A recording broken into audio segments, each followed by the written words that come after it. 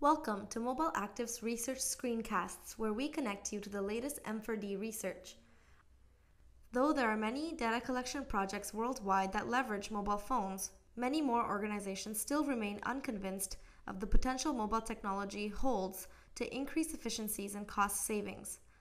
This is understandable as there is limited literature that evaluates the effectiveness of mobiles for data collection. Here we present the findings of Yu Ping and colleagues. They compared a PDA based method to collect data for public health surveillance to the traditional paper based method. Acknowledging that PDA is an older technology and have largely been replaced by mobile phones, there is much to learn from the study design and variables chosen to shed light on the effectiveness of an automated data collection tool. Much of this can be applied to our understanding of the benefits of mobile data collection. A group of 120 participants were recruited from the School of Medicine in Fiji to complete surveys in both paper and PDA formats. Another six participants were designated as data collectors. Perhaps the most interesting part of the study is the choice of a crossover design. The participants were divided into two groups and took the survey in one of two ways starting with the paper based survey followed by the PDA survey, or by starting with the PDA survey followed by the paper based survey. The advantage of a crossover study is that each participant serves as his or her own control. The influence of confounding factors such as the level of literacy or learnability with technology is reduced. The disadvantage is the introduction of a learning effect. So, for example, during the second round of surveying, participants and data collectors become more familiar with the questions, which may improve the data collection process overall. There was a seven day washout period before the second round of surveys to try to reduce such influences. These are the variables that were used to evaluate effectiveness of a PDA based questionnaire versus paper.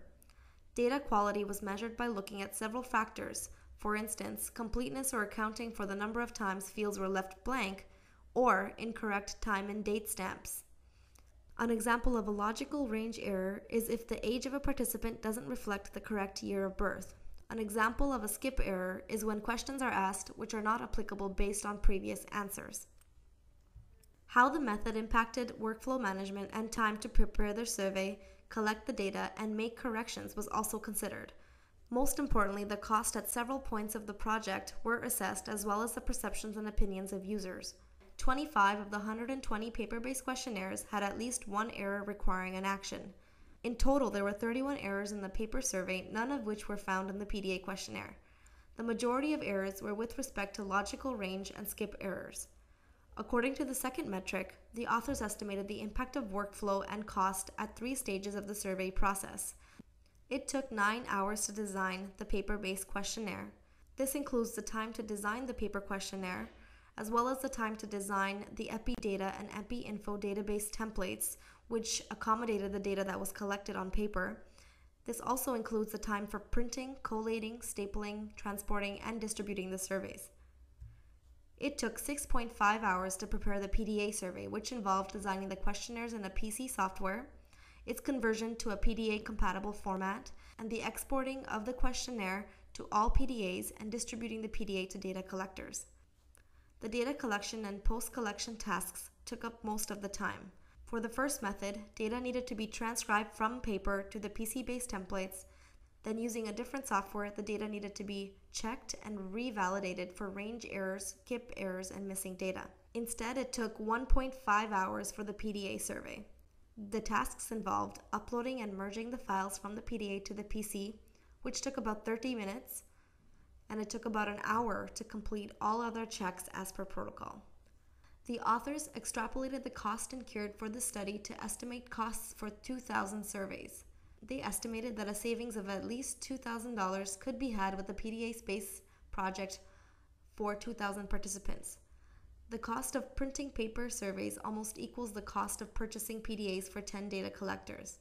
This is important to note that in this study, software was developed by university students who were not paid, and funding was available to sponsor the cost of a consultant.